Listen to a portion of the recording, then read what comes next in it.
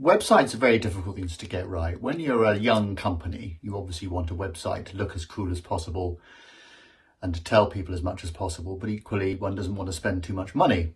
What we've done or what we've uh, what we're about to launch at Viewber is a new website which is designed to make the customer journey in each of the sectors of businesses that use us. There are so many businesses that use Viewber, uh, from estate high street agents, online agents, property managers, um, social landlords, housing associations, individual landlords, etc., uh, etc. Et Huge numbers of different people, and they all have different requirements from Viewber, and we've developed specific products to help meet those sectors. So having a website is all about looking good, but it's also about making the customer journey better. And I'm excited to say that that's what we've done. It's taken us quite a long time to do it.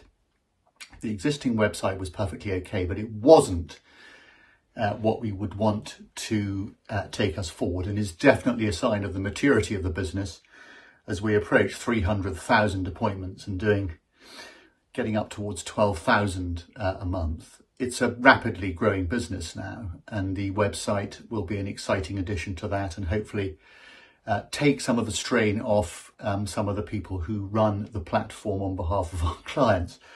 So um, website's a difficult thing, but uh, be great if you could check out the Viewber website. Keep looking at it, and you'll suddenly see it change at some point in the next few days. So, uh, um, and any comments you've got would obviously be very much appreciated. But um, it's been an exciting journey, continues to be.